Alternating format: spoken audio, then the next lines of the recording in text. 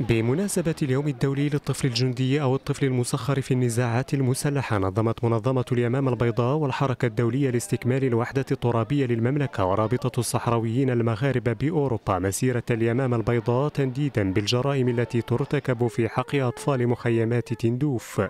ندعو الأمم المتحدة للتحقيق في هذه الجرائم لفك العزلة عن الأطفال. أطفال المملكة المغربية حاملين رسائل من خلال هؤلاء الأعلام التي ترونها هنا للتعبير وللتنديد ولإدانة الجرائم التي تلاحق أخوانهم وإخوانهم الذين استعملوا في في في حروب والذين انتزعوا وقطعوا من جديرهم التاريخية أطفال كأطور كمجتمع مدني جينا هنا باش نبلغوا الصوت ديالنا آه، لهذا الاستنكار للهمجي الوحشي ولا لي لا لتشغيل الأطفال لا لاستغلالهم آه، في النزاعات الحربية.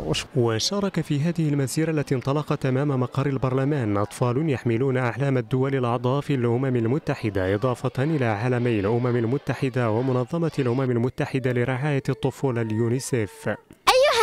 الحر الذي يؤمن بالعدل والمساواة ويناهض كل الانتهاكات الجسيمة في حق الطفولة والأمومة والأبوة والبشرية جمعاء نحن أطفال العالم جئنا نسائل الأمم المتحدة وقادة دولنا عن مستقبلنا وندعوهم للعمل على فك الحصار على أخواتنا وإخواننا بمخيمات تندوف وأسرهم لرجوع وجمع الشمل بأهاليهم بالوطن الأم.